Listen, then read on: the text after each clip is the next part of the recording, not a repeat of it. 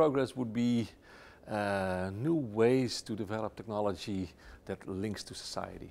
I think we've reached a stage in development of technologies uh, that has become so influential for our society that we cannot just stick to having the idea of just nice innovations, new gadgets for our social world.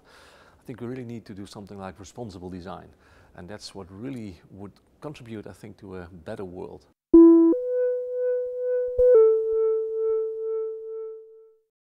I think if you try to analyze uh, technology in society, um, we are uh, entering a stage in our development where technologies start to work on human beings on all new kinds of ways. And they enter our bodies, they enter our environment, they become intelligent agents themselves. And this really somehow challenges our society in quite a fundamental way. So if I would then think about what would it mean to develop these technologies as real progress, I would say let's try to identify what's at stake when we develop them? What kind of values do they affect somehow? And how can we take these values and these social concerns into account when we design uh, and also introduce these technologies in our society?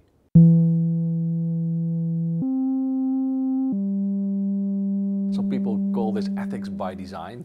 I'm not sure if I like that phrase entirely because it suggests that ethics is totally makeable, which it is not. I think typically every technology that we use also has a lot of unexpected ways of being incorporated uh, and appropriated by human beings.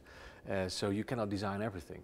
But indeed, I do believe in a model of ethics where ethics is part of innovation, part of technology development, and not something outside of it ethicists that only try to evaluate technologies in terms of uh, should we or should we not have them in our society, I think fail to really engage with the content of technologies themselves.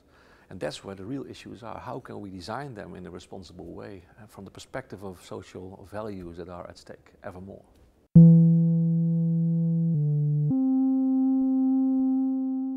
Maybe an example of this uh, ethics by design approach uh, would be, for instance, uh, the introduction of uh, all kinds of robots in healthcare. Um, when I give a talk, I often show a picture of a feeding robot, so an artificial hand that feeds an elderly man. And I think most people, when they see that for the first time, really feel something like, whoa, is, is, is this the way we should go? And should we leave care to machines rather than to humans? It's about vulnerable people, and we should never do that. I think that's the, the, the, the old-fashioned way of doing ethics, if I may.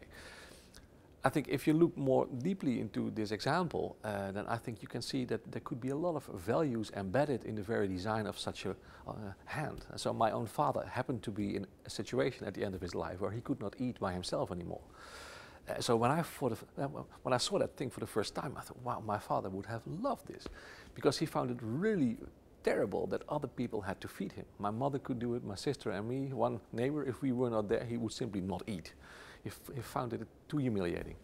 So this hand would have enabled him to regain a part of his dignity, actually. So there's dignity in the design if you design it well. And in our design lab, actually, some people also designed an extra algorithm with it uh, to help people who cannot even operate the hand with a chin or something. So then it, it does everything by itself, but it, it, follows the conversation at the table. People feel most lonely when they have to eat all by themselves.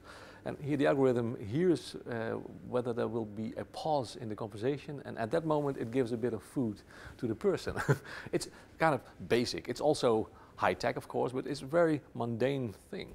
And I think that way of looking at robotics and healthcare helps me much more to take responsibility as a designer than asking yourself, should we or should we not have robots in healthcare? So maybe that example shows a bit of what I'm after.